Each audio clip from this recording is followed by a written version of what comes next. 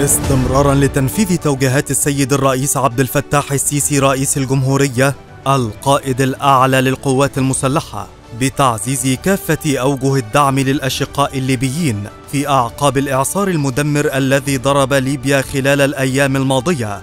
واصلت حاملة المروحيات المصرية طراز مسترال جمال عبد الناصر تفريغ حمولتها من الحاويات التي تحتوي على أطنان من الحصص الغذائية والمواد الإغاثية. وتسليمها للسلطات الليبية لتوزيعها على الأشقاء الليبيين بالمناطق المنكوبة. والله نشكر أخوتنا المصرية على المساعدات آه، اخوتهم الشعب الليبي في الكارثة اللي آه، المأساوية اللي صارت في مدينة درنا بارك الله فيهم.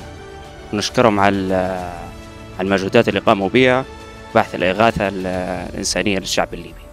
بسم الله ما شاء الله تبارك الله. أنا أنا أنا اتبهرت. حاجة تشرف بجد يعني. في مستشفيات آه، تبع تبع القوات المسلحة في آه، سيارات إسعاف في معدات. أنا طبعا أنا معايا كساحه محملنا معدات كتير بنودوها نطلع بها درنا. آه، كله كله عمل مجهود جبار بصراحة يعني. إمكانيات رهيبة والله أكبر عليهم وربنا يحميهم.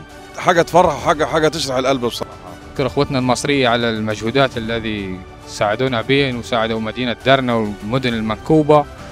نشكرهم شكرا جزيلا وإن شاء الله ربي يحفظهم وإن شاء الله ربي يدوم المحبة بين الدول ومصر وليبيا وحدة إن شاء الله.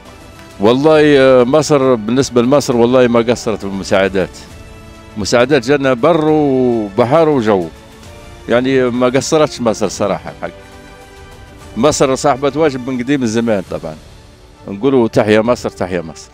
طبعا منذ اليوم الأول جمهورية مصر العربيه آه، قدمت مساعدات للمدن المنكوبة في ليبيا في شرق ليبيا. ونحن هذا اليوم آه، آه، استدعونا القاعدة البحرية طبرق لوصول آه، باخرة مصرية فيها بعض المساعدات وكذلك في مستشفى ميداني. نحن بالجانب الطبي الميداني قابلنا الأطباء هم على أوبة الاستعداد لكي يتم مساعدة آه، درنا وإنقاذ الحالات اللي من درنا. آه، نحن في داخل مركز طبي الطبي يوجد عندنا ما يقارب على 22 حالة.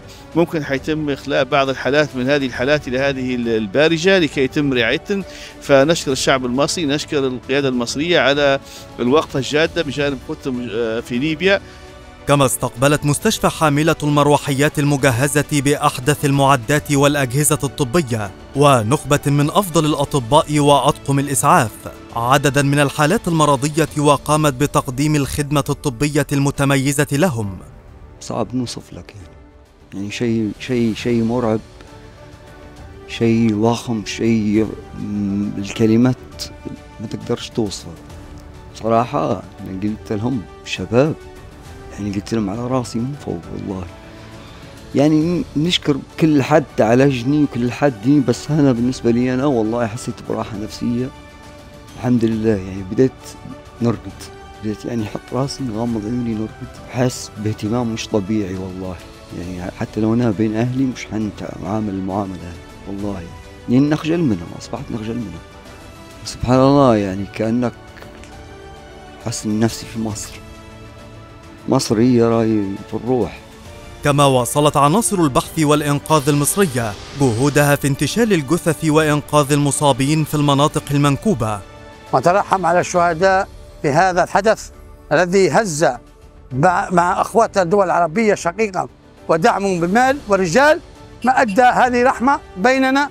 وان شعب مصر وشعب ليبي شعب أخوة اشقاء ونشكر دعم الشعب المصري وجيش الشعب المصري على مساهمتهم. واعانتنا في هذه المحنة نسأل الله أن يوفق الجميع ونستمر على وحدتنا. والحمد لله نشكر الحكومة الليبية والحكومة المصرية اللي شرفتنا هنا وسعفتنا وسعفت الناس كلها ونقص الناس من تحت الأنقاض.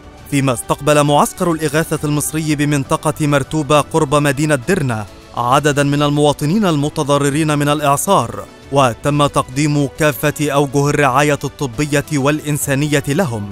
يأتي ذلك في إطار حرص القيادة المصرية على دعم علاقات التآخي بين الشعوب وبما يساعد الأشقاء على تجاوز الأزمات والمحن.